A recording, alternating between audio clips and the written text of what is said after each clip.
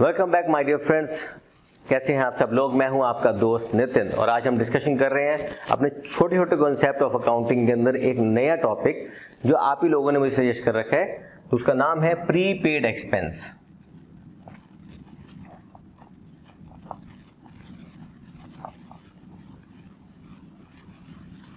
मतलब प्रीपेड का मतलब क्या हो गया? आपने आजकल देखा ना प्रीपेड आपके जो मोबाइल के आप रिचार्ज करते हो, प्रीपेड होते हैं। आजकल तो इलेक्ट्रिसिटी मीटर भी प्रीपेड आता है। आज के डेट में वाटर बिल ही रह गया, जो वो प्रीपेड नहीं है, बाकी सब चीज़ हमारी प्रीपेड पे आप हर जी ऑप्शन ले सकते हो।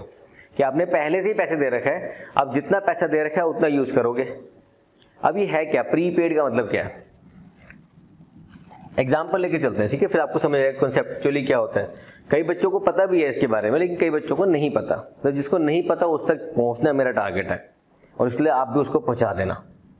प्रीपेड एक्सपेंस होता क्या है? सपोज़ आपके घर में आज कुछ आपने कंस्ट्रक्शन करानी है। आपने कहा जी कंस्ट्रक्शन का जो कॉन्ट्रैक्ट अमाउंट है, ये आपने कॉन्ट्रैक्ट कॉस्टिंग पढ़ा होगा तो कोई कॉन्ट्रैक्ट अमाउंट है, हमने कितना है सब बीस लाख रुपए है। तो ठीक है, बीस लाख है, आप काम कब से शुरू करोगे? उसने कहा जी हम एक महीने के बाद शुरू करेंगे। ठीक है। तो आप काम शुरू कर देना एक महीने बाद। उसने कहा नहीं सर, ऐसे नहीं होता, पहले एडवांस दो। हमने कहा, ठीक है एडवांस ले लो। तो हमने उसको एडवांस पे किया। सपोज़ पाँच लाख रुपए हमने उसको एडवांस पे कर दिए। लेकिन क्या काम शुरू हो गया? आंसर इज़ नो काम शुरू अभी नहीं हुआ सर तो काम जब शुरू नहीं हुआ तो ये जो एडवांस पेमेंट थी, क्योंकि ये खर्चा ही अल्टीमेटली उसके हम वापस तो ऐसे बनना नहीं कुछ। तो हमारा खर्चा है तो ये एडवांस जो पेमेंट हुई वो हमारे लिए क्या हो गया? एक तरह से प्रीपेड एडवांस दे दिया आपने किसी को। लेकिन उसके बदले अभी काम नहीं हुआ।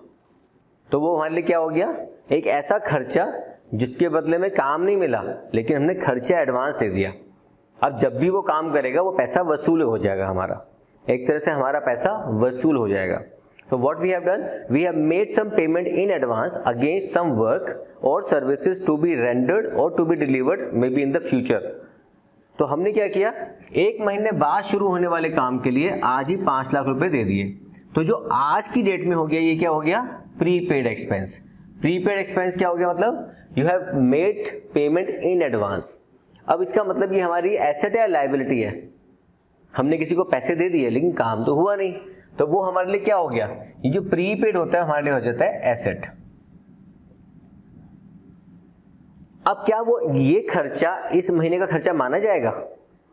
क्या ये खर्चा इस महीने या इस साल का खर्चा माना जाएगा? अब क्योंकि आप अकाउंटिंग पढ़ रहे हैं तो उसमें आप ईयरली पढ़ते हो। आपने 2022 में किसी को 2022 में किसी को एक लाख रुपए एडवांस दे दिया कि भैया 2023 में काम कर दियो। तो क्या वो खर्चा एक लाख दो हज़ार बाईस का माना जाएगा? Answer will be no. ये कब का खर्चा माना जाएगा? ये खर्चा माना जाएगा 2023 का। तो इसका मतलब इस बार अगर आपने, सपोज़ ये रेंट होता आपका टोटल आपने रेंट पे किया था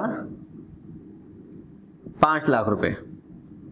लेकिन उसमें एक लाख रुपए अगले साल के लिए था। तो आप क्या करोगे?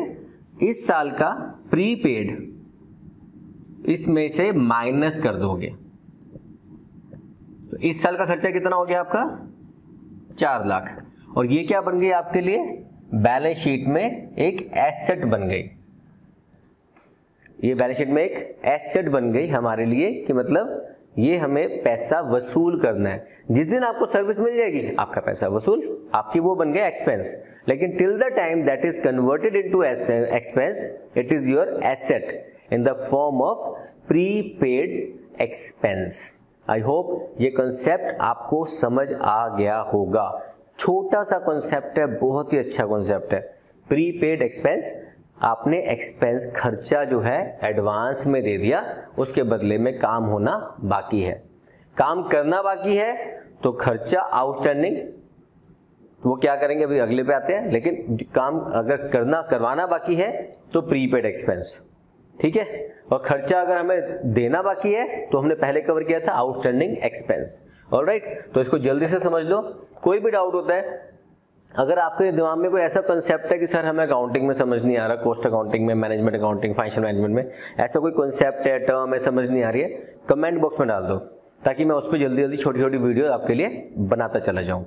लेकिन इस शर्त के ऊपर कि चैनल को सब्सक्राइब करो शेयर करो, और दोस्तों तक इस चैनल को पहुंचाते जाओ। all right. So all the very best. Take care of yourself. God bless you. Bye bye